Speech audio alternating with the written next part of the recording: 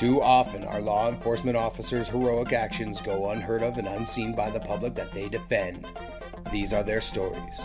Filmed live in front of a studio audience as they happen, these names have been changed to protect the guilty. All criminals are innocent until they're put into cuffs. See Ops. I've been on the force, working the beat here for about the last three years in the streets of Dildo, Newfoundland. I've seen a lot of shit go down, but nothing like the shit my partner's been through here. We hear all the time people assume we dildos are stuck up, but in the end, we hope you agree that we are a vibrant bunch. Dildo was a little prick on the map, but it's swollen into a throbbing hub of industry. I was born and raised in Dildo, and I'll die here. Guess you could say this town really has a way of getting inside you. My father was an officer of the law, his grandson before him. Only seemed natural I'd follow in my neighbor's footsteps. He was a cop. I joined the force in the 90s, and let me tell you, it was a different town then. It's amazing how fast a civilized society can decay in this world. Last year we had only 10 Mexicans. This year we have 12. And crime rate has already increased 40%. Now, while it's true that these crimes are usually perpetrated by white people and blamed on Mexicans, if they didn't have the Mexicans to pin it on, these crimes would simply not be committed. Yeah, it's like Attention all units, we have a reported 1018 at the corner of Johnson and Balls. Suspect is assumed to be of Mexican descent. Unit 1 responding, approximately two minutes away. 12 if we stop for donuts. a 1018 is pretty common. Basically, some Mexicans out prowling cars, probably drunk on tequila, ate the worm, basically treated this car like a pinata. Take a right on Tain Street here. That'll save us five minutes. One thing I will say about the influx of Mexicans into Dildo. It's the taco times Mexi fries have never been crispier. And they leave nacho cheese fingerprints at the scene. Really helps out the guys in forensics. Okay, so we're on scene. Now this could get ugly. So we'll have you stay back while we check out the situation. You wouldn't believe how many times these things can escalate.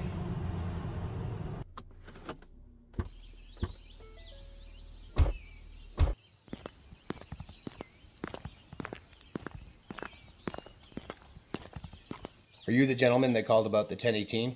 I don't know what a 1018 is, but my truck was broken into.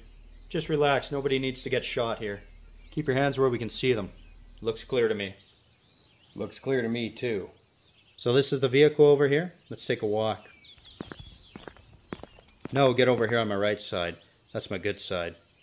Okay, now we're framed up. Lighting. How's the lighting? Looks good? Okay. Looks like a pretty typical 1018.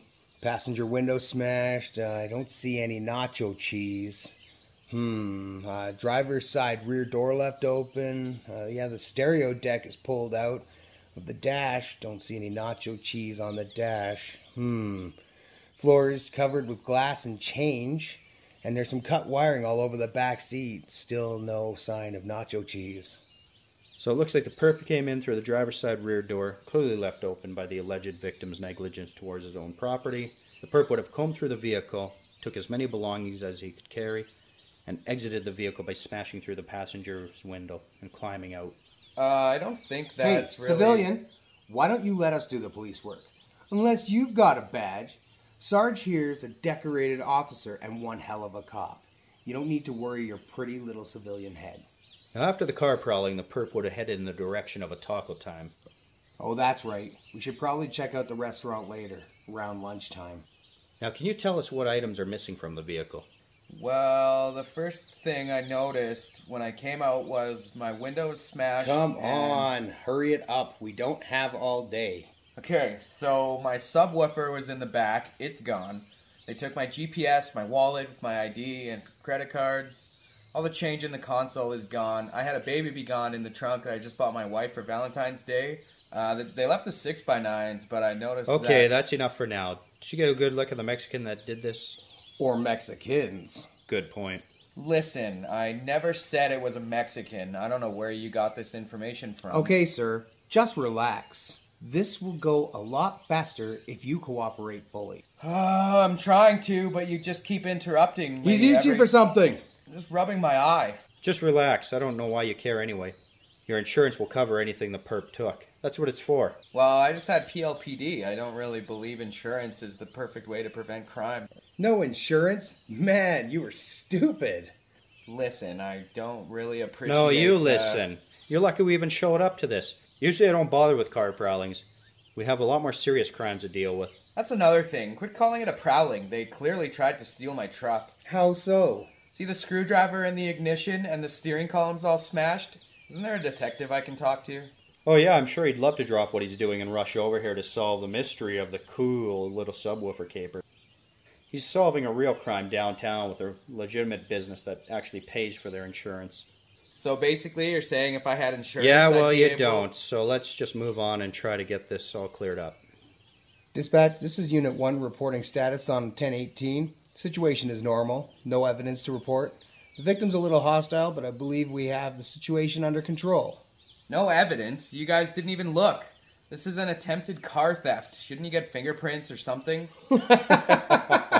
This is your first time dealing with the police, isn't it? Oh. Yeah, and I have to say, it's been underwhelming so far.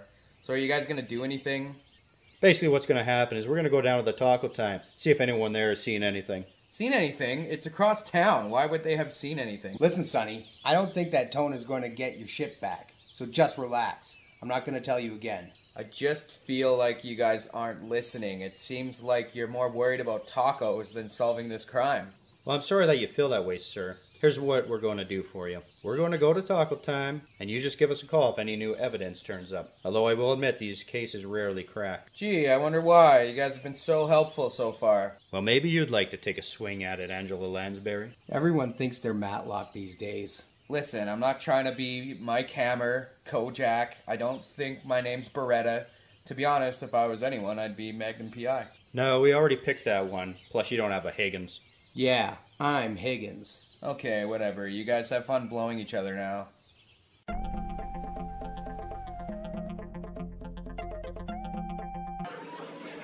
Man, these guys have really taken boiling bagged meat to the next level. You can hardly taste the plastic anymore. Mm-hmm.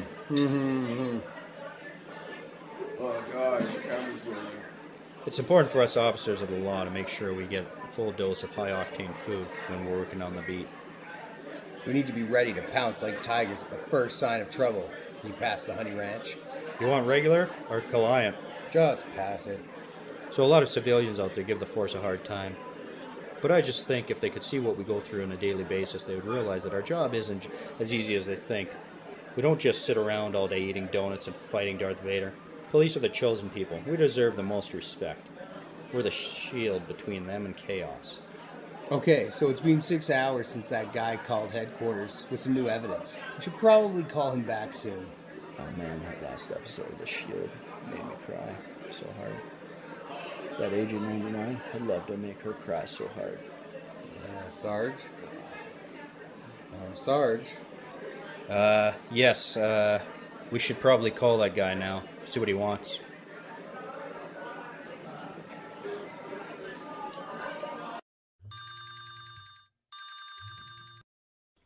Bob Boberson here.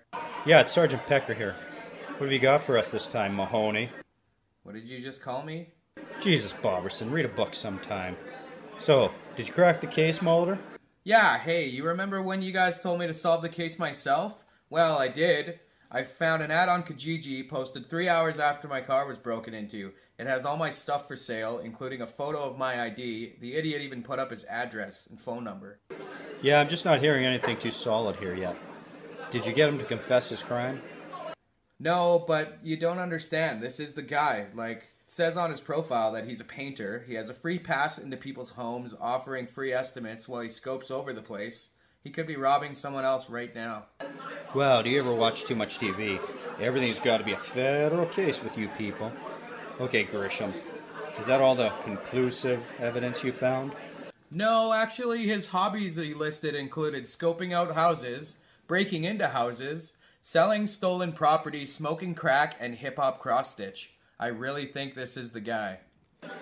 So, what should we do? Go talk to the guy? Probably a good place to start. Hey, Officer Riggs here thinks we should go talk to this guy. Who does it think he is? Colonel Potter? Regular old Columbo. Oh, Frank Drebin. Okay, it's not funny anymore. I can't stand dealing with you two. Listen, Go fucking find this guy and do your fucking job, or I'll call your boss and find someone who will. Okay, okay. All right, Ponch. Give us the information. We'll go check it out. Okay, the guy's name is Dick Sucker McPenis Fucker, and the Kijiji ad number is 867-530-99. Go get my shit back before I go find him myself. Oh, looks like we picked off Angela Lansbury. I already said that one.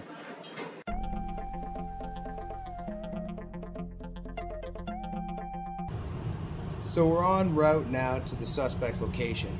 Basically, we called him and he thinks we're prospective buyers. Plan is to use our superior policing skills to coerce the suspect into admitting his guilt right there on the spot. If that doesn't happen, really makes our job a lot harder. Cross your fingers. 33 Dillweed, here we are.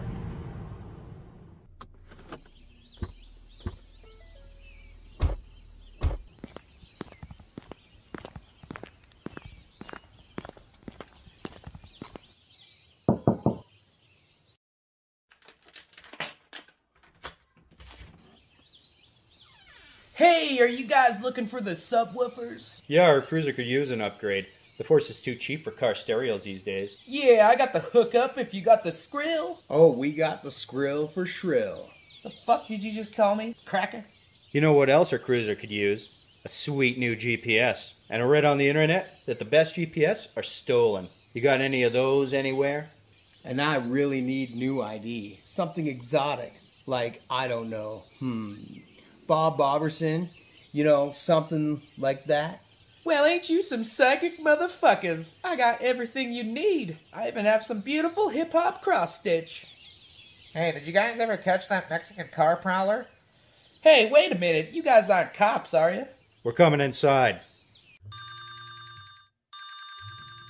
Hey guys, Angela Lansbury here. Angela? Sergeant Pecker. Please tell me you got my stuff and you didn't just fuck it up like you probably always do.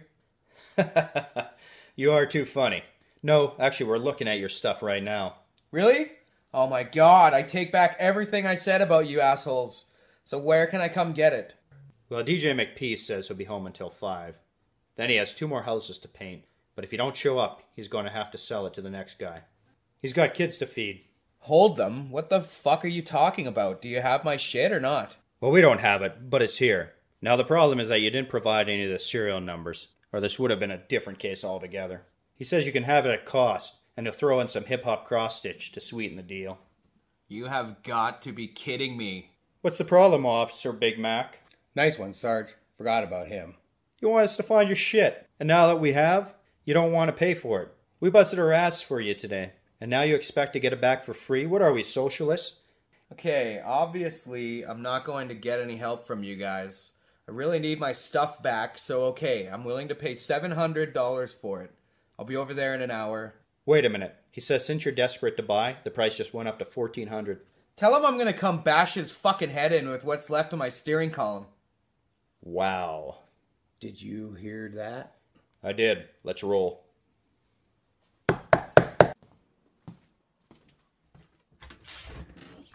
The fuck do you guys want? I'm done with you two. You better have my shit or get the fuck off my property.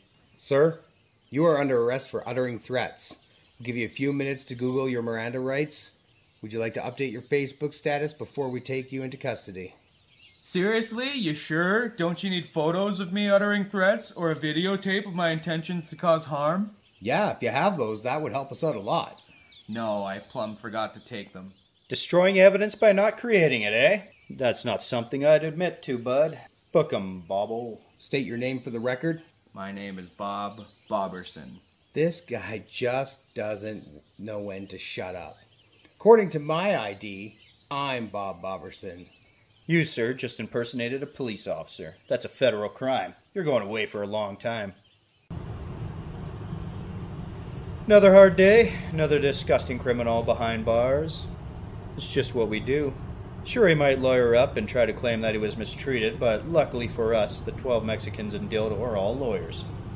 Yeah, it's unfortunate how quickly a victim becomes a criminal himself. The truth is, justice has been served here. These civilians think that just by having evidence and handcuffs, just stroll up to a guy, make an arrest. People just need to realize that there's a lot more involved in real police work. Can't just solve these crimes by themselves, or they'll just keep cutting our budgets. Nowadays, possession is nine tenths of the law. And we're in possession of a kick ass sound system. Hit it, Boberson. You got it, Sarge.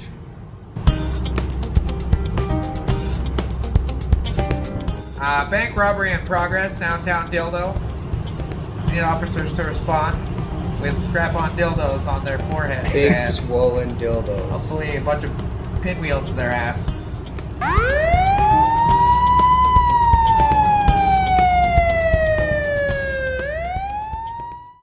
If you would like to hear another load of hilarious comedy, click on the next skit. If you got your feelings hurt and don't want to listen to anymore, don't listen to it. Choose your own adventure.